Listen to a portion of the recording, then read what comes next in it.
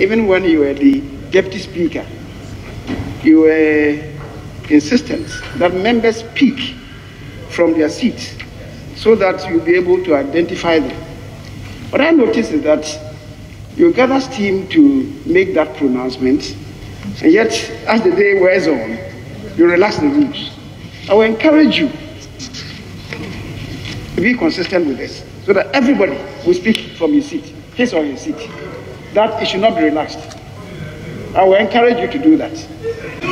I will. But I want you to take this on board. Don't relax it. Don't relax the rules.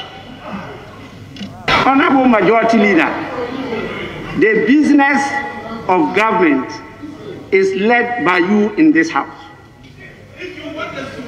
You don't lead parliament. You lead the business of the house. You lead the majority. And you lead government business. As to the role of the speaker, you haven't reached there yet. When you get there, you do so. Please, you've been my very good friend for all these years until I became speaker. And everybody in Ghana is doubting whether you were really my friend. I received a lot of calls about that. And I said, You are my friend, and you are still my friend, but people are doubting it. Please, don't give credence to that doubt.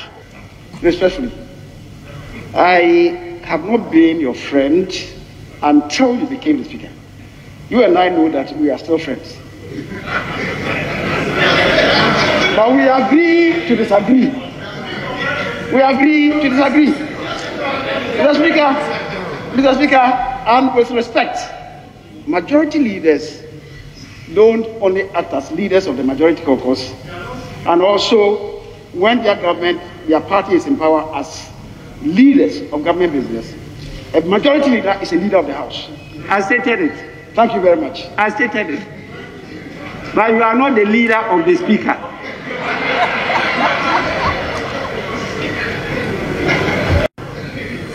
It looks like you are my former friend now.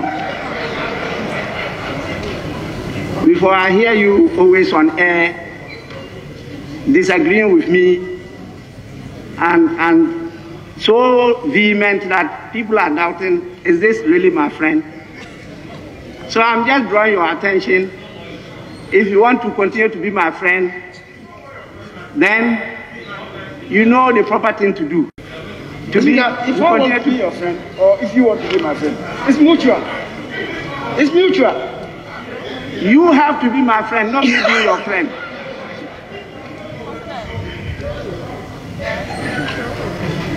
At least I have a position in Ghana. Number three. What is your number?